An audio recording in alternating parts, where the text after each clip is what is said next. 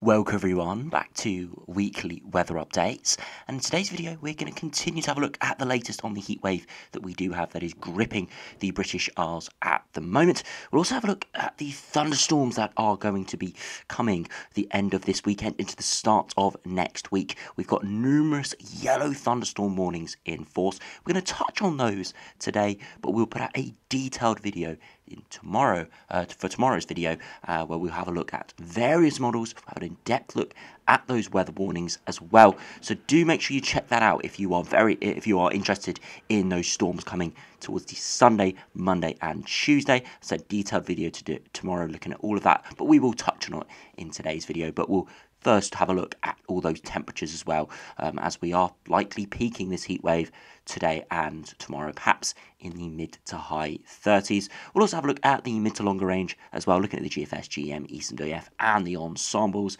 Looking at what we're going to be seeing the second half of August, still a mixed bag. Still does look like there will be some unsettled weather, but also seeing a trend perhaps for some more warmer or hotter weather right at the end of the month. So do stay tuned for the second half of the video where we'll have a look at that in detail as well. So do remember, if you enjoy my videos, make sure you like and subscribe. And remember to follow me on Twitter as well, the link's in description. So if we do start on the live radar, you can see, once again, very little precipitation. Some across the far, uh, far northwest of Scotland, but Elsewhere, really nothing at all, and you can see that pretty consistent over the northwest of Europe as well. But over the next few days, this high pressure will be replaced by low pressure, and I'm expecting to see a lot of greens and reds on this chart. Big heavy showers, torrential downpours, and thunderstorms as well. But for the time being, it's hot, incredibly hot, uh, with temperatures up into the mid 30s today. Now, I'm recording this around half 11 in the morning, recording a little bit earlier than usual, so we aren't uh, seeing the peak temperatures today. We've still got three or four hours left of heating. So these are the temperatures at 11 a.m. roughly, mid to high 20s. We'll have a look at some of the observations in a minute, and you'll see some areas are already touching on the low 30s. That's why 35 or even 36 degrees is possible today. Oppressively hot out there, and it is widespread waterfall sunshine, widespread heat as well. Typical heat wave conditions for the British Isles. Uh, and again, that bullseye area across the West Midlands, western parts of southern England, into the southwest as well. You can see those darker colours there, and that's where we're likely to see these pinks that are starting to appear across France. We're expecting those to spread in as well. That is those mid to high 30s. So if you do have a look at net weather, look at the latest observations, you can see as around 11am, these are the latest observation we got in, and widespread 29 plus degrees. These are the top 20 from the net weather stations that, uh, that net weather have access to. Of course, there are more stations out there that the Met Office have exclusive access to, and of course, later this afternoon we'll see them publishing probably hourly updates. Um, so we'll have to wait until probably around 5 6 pm to find out the official highest temperature of the day. But I'm expecting it to be around that 35 degree range, maybe slightly higher, because you can see already in Shoreham we're at 30.3 degrees, and quite a few stations here are above 30 already. And you can see it's ridiculous how some of them along the south coast towards Bournemouth and Southampton. You know, normally we'd expect a bit of a sea breeze, cooling these areas down by a degree or two, but that's where we're seeing these bullseye temperatures today. Um, and you'd expect to see some of the London stations coming in here as well. You can already see Heathrow at 11am. So widespread potential across the south and central areas for these mid 30s, and we'll just have to see what happens later this afternoon. Now, if we do have a look at the weather warnings, as I said, we still have the amber extreme heat warning in force all the way to Sunday, and we've covered this extensively over the last few videos. So if you do want to have a look at those at least in more detail, do check out videos for the last few days. But still with this amber extreme heat warning of mid 30s, all the way continuing, continuing all the way to Sunday, but we now have yellow thunderstorm warnings. Now, last few days, we have looked at that thunderstorm risk starting to come in the five day time frame. We can see that initially it starts out as a western event, um, starting across Northern Ireland, Scotland, and of course, Republic of Ireland would be covered here, but it's not under the Met Office jurisdiction. But I'd expect big thunderstorms there as well. So you can see these yellow thunderstorm warnings here, and into Monday, we see a more widespread warning come in for many parts of the west as well. Surprised we're not seeing extended further eastwards. We'll have a look at some of the precipitation charts in a minute. And we are seeing some of this further eastwards. So unsure why the warning hasn't been extended there, but perhaps it is down to likelihood because if we do look at this and look at the uh, further details just at the bottom here, we can see it is high impact, low likelihood because it is still a few days away. Um, but yeah, severe thunderstorms. And again, if you want to have a look at these in detail, you can either go to the Met Office website now, or I will cover it in, in detail in tomorrow's video. But I won't do quite do it now, um, as I do. Don't, I don't want to make this video too long, as I do want to cover the temperatures and the longer range as well. Tomorrow we will exclusively be looking at the five-day time frame looking at the precipitation and thunderstorm risk. Look at all the CAPE charts. So do check that out if you are very much into these thunderstorms coming on Sunday, Monday, and into Tuesday as well. But yeah, yellow warnings in force, widespread yellow warning with severe thunderstorms. So if we do go to the UKV, we will have a look at some precipitation charts today. Again, not nothing too extensively, but you can see over the next few days, really nothing at all. But it's as we head into early hours of Sunday. That's where we start to see the risk come up. 3 a.m., a few showers starting to pop off, and through Sunday, we're starting to see some heavy thundery showers break out, even some into England and Wales as well. But initially, it's for the west and the north, across Scotland, Northern Ireland, and the Republic of Ireland. These areas don't really need the rain, the rain too much. Some areas are drier than average, some are slightly wetter than average, but it's nowhere near drought conditions across these western areas it's further eastwards that we need the precipitation. Some parts of eastern Republic of Ireland do need the precipitation as well, and we will likely see some thunderstorms there, but it is across central, eastern and southern areas of England uh, and parts of Wales that we need this precipitation. You can see through Sunday, nothing too much at all. But as we head through Monday, showers start to spread eastwards. A few lighter showers there. Through Monday afternoon, some severe thunderstorms starting to break off widely, and you can see a widespread risk. Through Monday night, we could see a multi-celled system it's where these storms sort of band together into a large area of precipitation, move northwards, and into Tuesday, so you can see those th- severe thunderstorms breaking out potentially through Monday and into Tuesday as well. It is the five day time frame, so there is some uncertainty with exactly how reliable this is at this stage. But the risk is there, and it is something we do need to keep an eye on. Of course, Met Office warnings do not extend to Tuesday yet, probably because there is too much uncertainty. And we'll have to keep an eye on it. We'll most likely would see a warning put in force for Tuesday at the earliest, maybe tomorrow, but perhaps into Sunday is probably the most likely situation. Again, if we did see some of these charts verify, wouldn't even be surprised to see an amber warning for thunderstorms looking at the severity of some of these showers. So if you have a look at the temperatures, just finish up uh, from the UKV, have a look at today's temperatures, you can see it is getting up towards the mid 30s. Bullseye area probably 35 degrees, but widely 33 and 34. And we can see that tracking on those net weather observations as well. We're already into the 30s, and by 3 pm, likely to be into the mid 30s. As you can see, for Saturday afternoon, those temperatures perhaps getting even higher, maybe 34 widely, again 35 a little bit more widespread there. You can see it near the Cardiff area. We could even again see locally 36, and the Met Office uh, and BBC Weather, people like that have said the risk of 37 is possible as well locally. But the widespread temperature, I must say, is probably around that 33, 34 degrees. So I don't think everyone's going to see 37.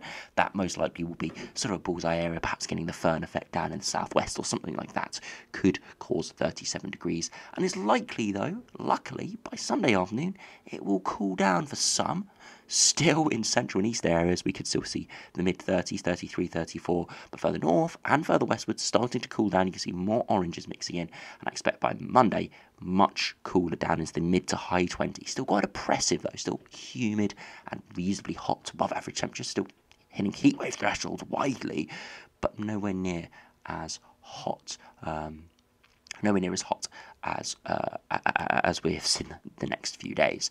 And finally into Tuesday, you can see it's much cooler. Still got a very warm air mass in place, so still could get into the mid 20s for some. But where we see those showers and storms break out, it will be in the low 20s, maybe even the high teens. Now, if you do have the UK Met Glo uh, Global run, again, this is by the UK Met Office, but it is a slightly low resolution model. And if we do have a look at the temperatures, uh, well, actually, if we start on the precipitation first, and we'll just run out to Sunday, see what it is showing for the precipitation today. Again, you can see through those heavy showers and thunderstorms in the north and the west through Sunday into Monday, more heavy showers and storms breaking out quite widely before dying out through the evening. Nothing too major in the east, though, a few showers there, but it's as we head into Tuesday, major thunderstorms heading up from the south, giving severe precipitation, a massive area. Again, it is low resolution, so we're not likely to see precipitation in all areas here, but pretty severe system there, and yeah, could be giving up a few surprises with some heavy precipitation through Tuesday, and beyond that, just continued with low pressure spiraling in before it looks like Wednesday and Thursday could be a little bit drier for those areas. So, could see a couple days there of heavy showers and thunderstorms. If we do look at the two meter max temperatures from the uh, the from the UK Met Office Global run, if we do run out to today, uh, this afternoon at least, you can see widely into the low 30s. Again, we have seen that this run has been a degree or two below what the other runs are going, and the live observations. We can always add a degree or two onto these temperatures for the widespread conditions, but still low to mid 30s. For Saturday, those temperatures could once again peak in the low to mid 30s, maybe 35, 36, or 37 is possible locally. And as we head into Sunday, still widely very hot into the low to mid 30s. So even though thunderstorm risk comes in on Sunday, we do have warnings in force. The areas that avoid the thunderstorms are still going to be incredibly hot but by Monday could be much cooler, bound into the mid to high 20s. Still, as I said, feeling a bit oppressive, but for the Far East, could still be into the 30s there. But it should start to cool down, and for all areas on Tuesday, perhaps into the mid to high teens, even low 20s, so much more towards average or below average, primarily because of the precipitation, evaporation, of course, causing cooling, the heavy clouds I'm going to cool the air down quite significantly and not allow a lot of sun through. So it is going to be a cooler day, and it could be quite be quite shockingly cooler by good 15 degrees than what on Monday was showing, or, or Monday or Sunday was showing. So yeah, it could be a big cool down on Tuesday, and that continues into Wednesday where those temperatures are back to around or slightly below average.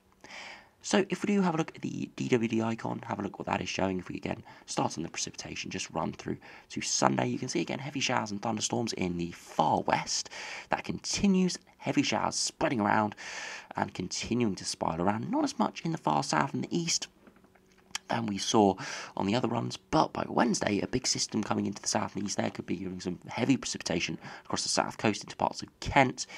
Again, you can see the three runs all showing slightly different positionings, all showing heavy showers and storms, but the uncertainty is there quite significantly, especially into Monday and Tuesday for these positioning of these showers and storms. Again, they're convective in nature, so they're going to be hard to predict at the best of times. But you can see here they're all showing slightly different positionings, and that is all because the centre of the low is slightly differently positioned, and that's where we're going to see the biggest convection and the most severe showers and storms. Now, if you look at the 2 metre temperatures from this ICON run, you can see this afternoon those temperatures again peaking in the low to mid 30s, nowhere near as hot as the other ones are making out to be. That's, uh, oh, actually, you see the afternoon, sorry, I was looking at the 9 pm temperatures there, sorry.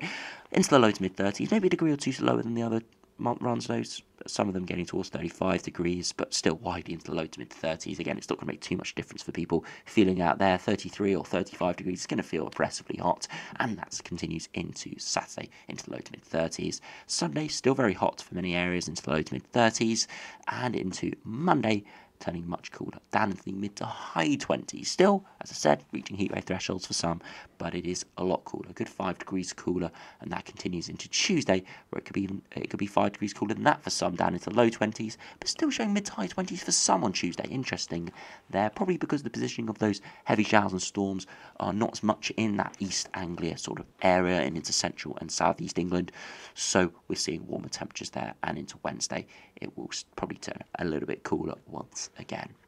So, if we do now have a look at the mid to longer range, have a look at the latest GFS. Now, the 6 o'clock run hasn't fully come out, we've got out to around day 10, so we can have a look at this in detail. Again, you can look at the high uh, the high pressures in control at the moment, a bit of an easterly wind, but we see this small low pressure system develop to our south and our west spiraling in showers in off the continent. Look at the 850 HPA temperatures, and you can see incredibly hot conditions still across the UK. But you see this pocket of cooler air that's under the low pressure, temperature contrast fueling up this low pressure system, increasing that convection, significant uh, convection moving through there, and we're again going to see heavy showers and storms. For eventually, we probably go into more of a westerly flow, looking not too bad. Some warmer air masses here or there, so we could still see temperatures into the mid to high 20s at times, but generally nothing too persistent at this stage. And a lot of low pressure systems just sitting around. I see there's quite a severe little low there. That could even be a named storm potentially. Looking at the tightness of those isobars, could be seeing 50, 60 miles per hour winds there. That's nothing too unusual in the winter autumn or spring, but in the middle of summer, that sort of wind speeds can bring down quite a few trees because we are still in full leaf. So have to keep an eye on that around day 10 uh, and beyond. But just shows you the jet stream is centering slightly further southwards, bringing us more low pressure and hopefully more precipitation.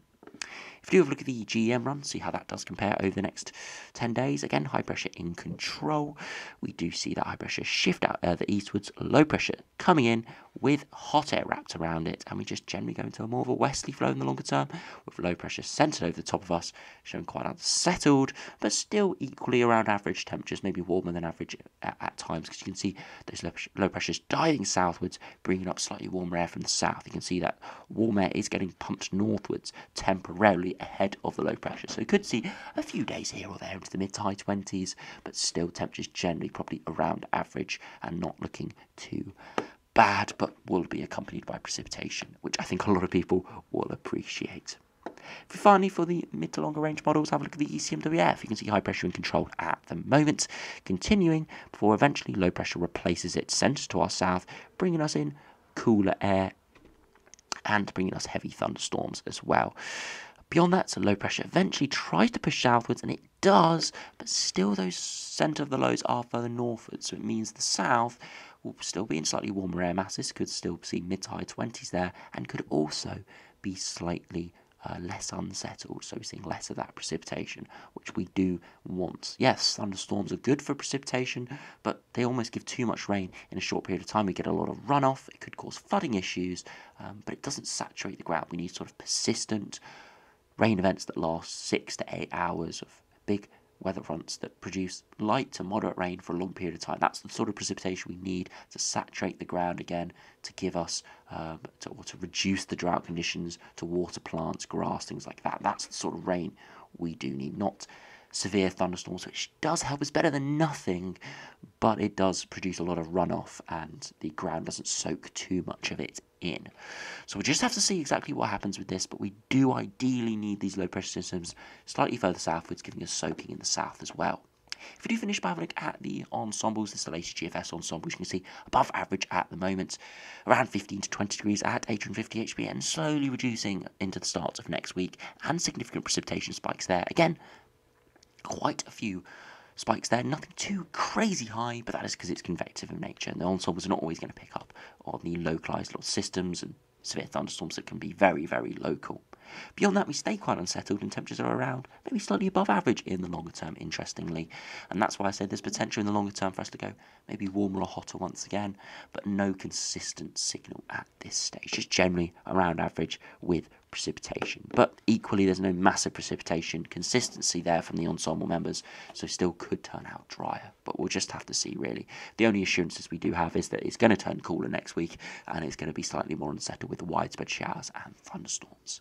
If we finally have a look at the ensembles, again, you can see around average, uh, well, sorry, well above average at the moment, turning back towards average, significant precipitation next week in terms of showers and storms, especially further westwards, and actually even bigger rise in upper air temperatures towards the last week of August. Still some precipitation around, so still could be low pressure associated with it, but uh, quite a significant rise, good 5 degrees potentially above average there, with quite a few ensemble members getting towards that 15 degree range, which would give temperatures back into the low 30s. So very interesting seeing that. Could see another surge of heat in the last week of August. Again, it is only a few ensemble members. It's just the averages there at the moment. Are still equally cool ensemble members. I mean, you could wait until runs later this afternoon and into tomorrow, and they could completely flip it because it is day 10 to day 14. But it is something we do need to keep an eye on. But anyway, for the time being, make sure you enjoy the hot weather we have at the moment, but also do stay safe do, of course, reduce any fire risks by uh, staying safe out there if you are smoking or having barbecues or whatever. Do make sure you look after the vulnerable, uh, keep people hydrated, and of course, stay out of the sun during the peak hours. And of course, if you are out in the sun in the peak hours, put sun cream on. Um, and of course, hopefully, we do see those heavy storms uh, and showers into Sunday in the west and more widely through Monday and Tuesday, which will cool this, these temperatures down and hopefully give us some rain. As I said, stay tuned for tomorrow's video where we'll have that a look at that uh, in a lot of detail. Um, so yeah, of course, stay tuned for that. But for the time being, enjoy the warmer weather, the hot weather we do have at the moment. So anyway, thanks for watching. Hope you enjoyed. Subscribe if you're new, and I'll see you again for another video soon.